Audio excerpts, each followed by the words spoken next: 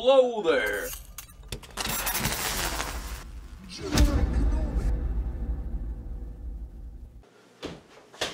Well, hello there, and welcome back to a Ugh.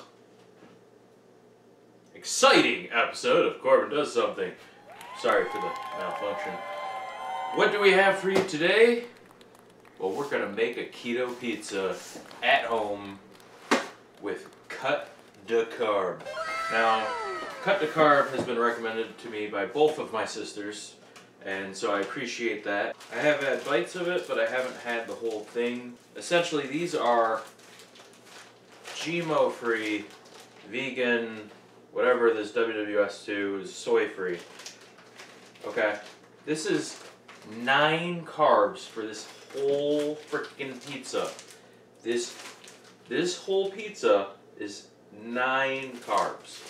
All right, this is pretty sizable. I have been really looking forward to making these because I really want a pizza, and I haven't had a chance to uh, try this because I've been working on a farm. But also, I ordered this back in March.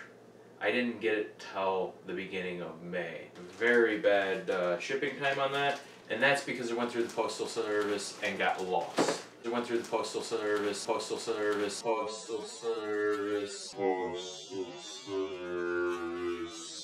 Thankfully, they sent me a brand new one for free. That came within a couple days. So we're gonna go ahead, we're gonna open this up. We're going to make some pizza. Go ahead and grab this one one flatbread here. All right, so this is looks a lot smaller than. Ah, okay. Part of it got ripped off. Yeah, so it it, it tore a little bit there. Um, I'm gonna just grab a new one. Let's see if I can get it without ripping it. It That's seems super thin.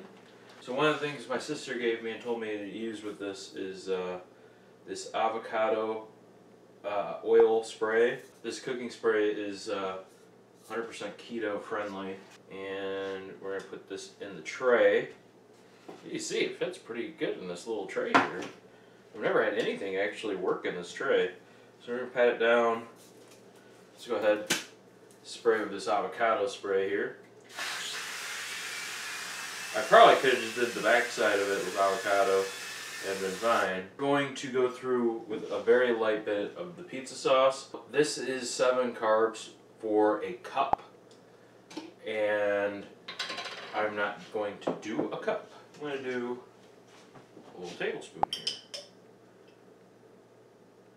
And we're just going to lightly, lightly spread this across the uh, the pizza. I know a lot of people are, are probably like, Well, it's not enough sauce for little things. We're keeping this keto friendly. if I were to do more sauce, it becomes less keto friendly. I think this is fine. This is actually more than enough sauce, and this is what I usually put on for my regular tortilla pizzas that I make. You know, the poor man pizzas, or that are no longer poor man because it costs more than a regular pizza. So, all right, now we throw on our pepperonis. Now you can do deli pepperonis or or any of them. I just get the basic Kroger ones. And the reason for that is they're, they're pretty inexpensive. I also don't have to deal with people if I just, you know, buy stuff off the shelf. Bring again a mozzarella, fresh bag of mozzarella, and if you know me, you know I like cheese, and if I like cheese, you know what that means. It means I just ruined the bag Kroger, stop making cheap bags. I can't open you without you breaking.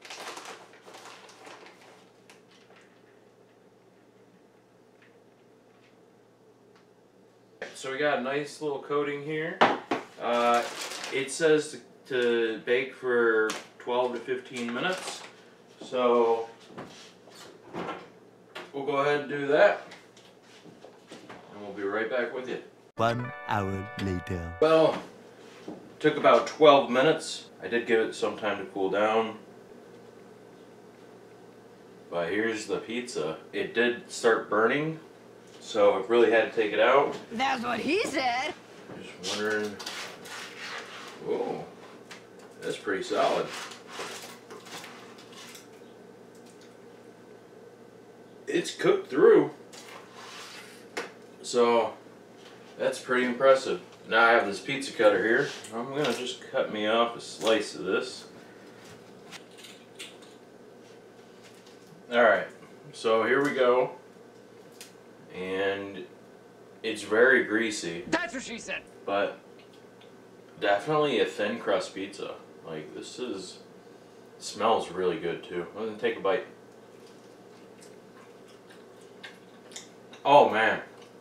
I'm not sure if you can see anything on this being up close. But this is really good. I can taste the avocado spray even without that, like I can tell this is a really good, good pizza. Now my sister makes nachos out of this, and I kind of want to do that. If you'd like to see that video, leave a comment below. We'll make a video on it, and we'll make some, you know, nachos and cheese. Cause man, I miss my, uh, I um, come on, man, you know the thing. Better educated public helps everybody. I miss nachos and cheese. But damn, that's a good fucking pizza. Alright, if you like the video, like, comment, subscribe. Hit the bell. Let me know in the comments below if you want that nacho video or there's something keto you want me to cook for you. For me to eat and you to watch. Alright. You like me yet?